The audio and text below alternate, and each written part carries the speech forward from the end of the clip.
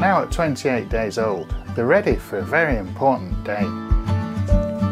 So today's ringing day for the Ashwood Kestrels, so I'm going to head up there and get them down and we're going to get some ID rings put on them.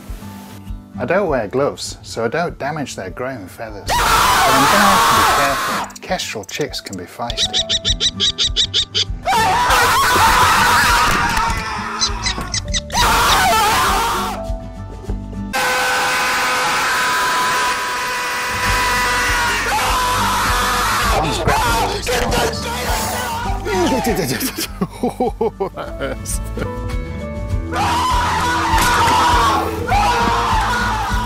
Fierce little characters.